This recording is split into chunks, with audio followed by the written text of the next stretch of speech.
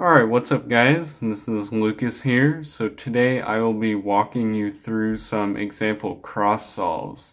So I have done some normal walkthrough solves in the past, but those really aren't uh, focused on cross, it's more uh, F2L.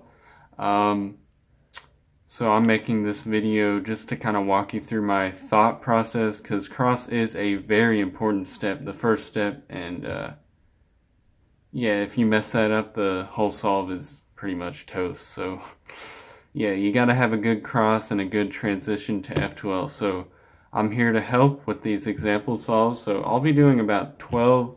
Uh, hopefully I can get a uh, wide variety of cases. So uh, let's get started. So I'll put the scrambles in the description.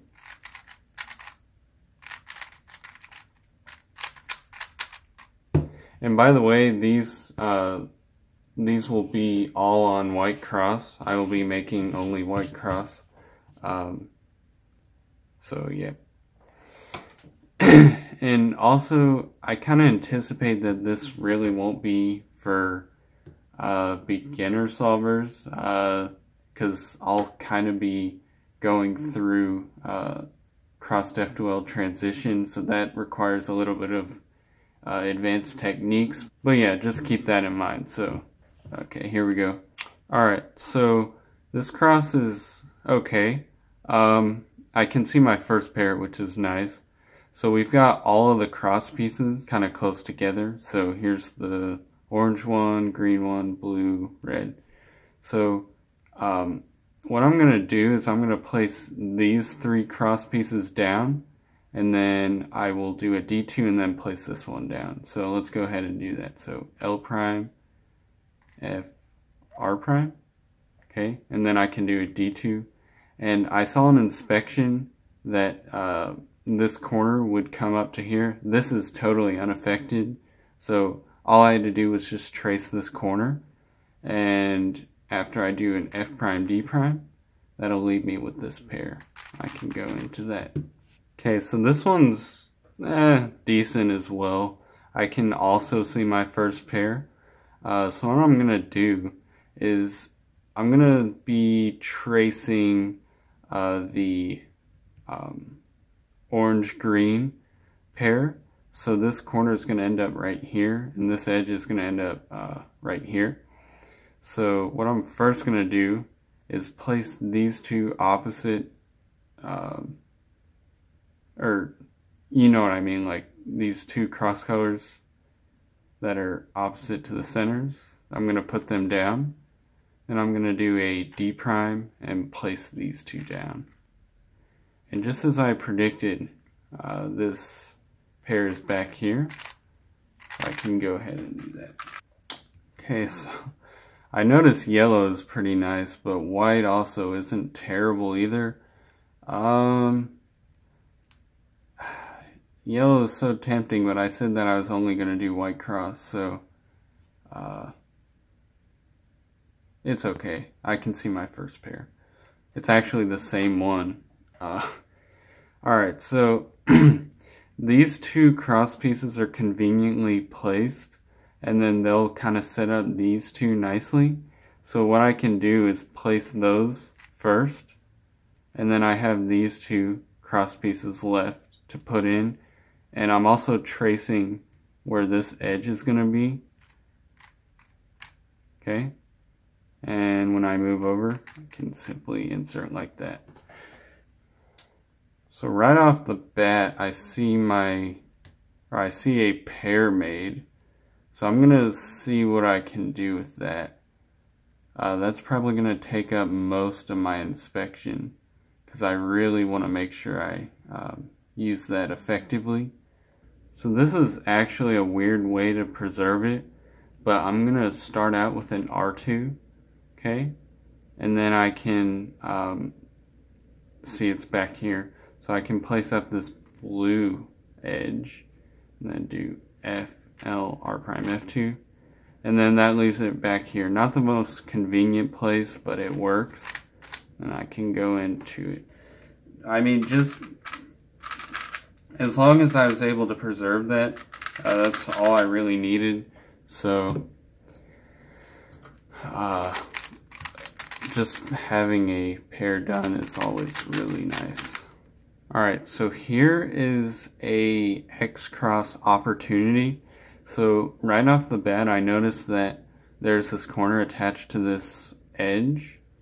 Um, and also these two are placed pretty well. Um, so what I'm going to do is I'm going to uh, position this uh, edge for the X-Cross so that I can insert it after I uh, position all my cross pieces on the bottom. So what I'm going to do is L, and then I'm going to put this red piece down, and then do D, F, okay? And then I can just go and insert this, like that. Okay, so this is also pretty interesting. I've got a free pair right here, and the blue piece is right here as well. So I'm gonna break this up, but it's still gonna be a three move insert. So what I can do is, um, I see that this is uh, right over the red piece. So if I move this blue cross piece over here, then that uh, positions it pretty well. And then I can do F prime to put this red over here. Then R2, U prime, L, F prime. That leaves the three move insert that I talked about earlier. Okay, so this is an example where I'm just to kind of wing it because I can't really see my first pair in inspection very well. Um, I kind of have an idea of where it could be, uh, but when I have a situation like this, what I try to do is um, do a cross that will um, keep the pair uh, pretty much the same way it is as, uh, before I do my cross solution. So I just try to keep it intact pretty much and just hope for the best. Um, that's kind of, it's kind of unfortunate when you've got situations like that, but uh, they happen, so gotta deal with them. So what I'm gonna do is I see two options right here. I see this and this. So uh, my instincts tell me that if I move them to the top layer, uh, that's generally to be pretty good uh, for this case. So what I'm to do is um, place these two down first and then this one and then do a D2 and then place this one down, something like that. So here we go. Place that over and then to move this to the top, I do something like that and then place this one. Sorry if it's a bit hard to follow. Um, it's just kind of how it goes. So, and then R, D2, and then place this in. So, my instinct was pretty good because it stayed in the top layer and they're both together. So, it just, this just takes a lot of practice. It's honestly very hard to explain. Moving pieces to the top layer is honestly probably uh, the most desirable if you can't see your first pair. So that's the general thumb. It's not always the best option, but here is pretty good. So uh, maybe rewatch that, but um, these ended up pretty well, and I can continue with my saw pretty smoothly. Alright, so this cross is a little bit finger tricky, but uh, I can see my first pair, so that's all good. Um, so initially I see this pair made, or this block, but I'm not actually going to use that because this piece would be inconveniently located uh, once I finish. So X-Cross is uh, not really possible here. Well, it is possible, just not great. So then I move on and I see this um, white corner next because um, my cross would uh, move it to right here. So then I kind of look to see where this edge is going to be and it will finish at the top. So that's a pretty good first pair, uh, rotationless too, so let's go ahead. So I put these down first, but while I'm doing that, I'd also put this over. Um, and then I can do L, R, D prime, R. And as you see right there, can go straight in. and then just finish up the rest. Man, all these solves are so fast. I'm getting like ZBs. It's kind of crazy. White looks absolutely ins or yellow looks pretty crazy, but can't do yellow. Here's another situation where I can see a first pair, but honestly it's so bad that I'm just gonna end up tracing something that's that will be in front of me. So I know where these uh, this red green will end up, but it'll be in the back, and that's not really good. So what I'm going to do instead is I'm going to trace these two, because I know they'll be in front of me. Um, I'm pretty sure I have a good idea of where they will be. Uh, yeah, actually, I've taken the time and I know where they'll be. So it's it's going to be a pretty nice setup. Obviously, I wouldn't have that much time in inspection, so I just hope for the best. And um, yeah, so here we go. So I move this green over and then move this over. And I see that um, as I place these pieces, um, they'll be uh, in front of me. So I go like that. Okay. And then honestly, I probably wouldn't do this in a solve. Um, but even though they'll be in front of me here, I could do something like that. Kind of like an X cross. Uh, but I, again, I probably wouldn't see that. Uh, but just the best thing to do right here is that. So, whatever. Uh, I just got the pieces in front of me, so that makes me happy.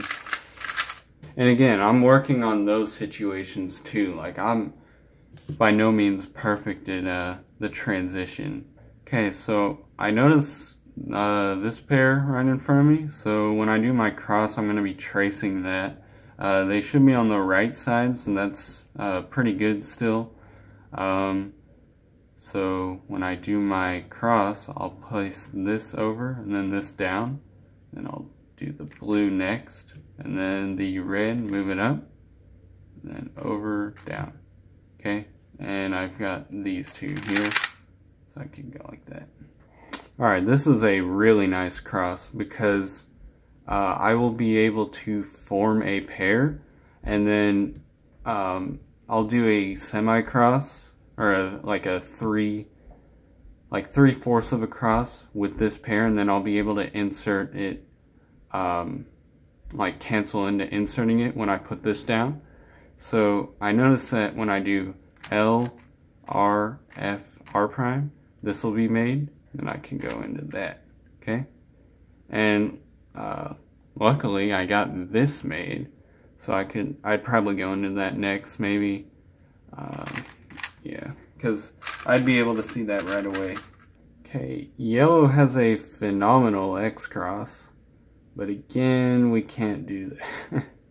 Actually pretty good cross here. Um, the first will set up pretty nicely.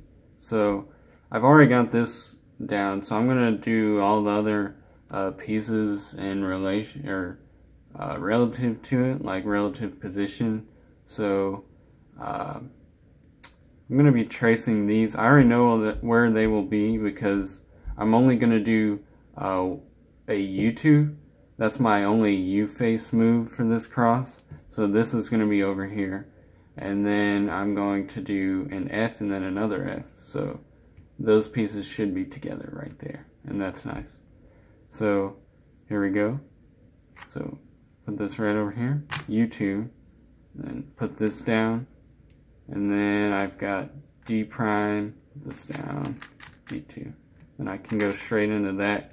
Then I notice that, just kind of, whatever. Uh, then finish up with the rest. So yeah, uh, hopefully this helped. As you can see, uh, solving require or solving fast it requires a lot of planning uh, and no one's perfect at it uh, you can always plan better um, and yeah so um, maybe I'll do more of these in the future as I continue to progress, but uh, just wanted to get this out here, kind of show how you show how I think through cross and F2L at the moment. And uh, yeah, that's about it. So thank you guys for watching.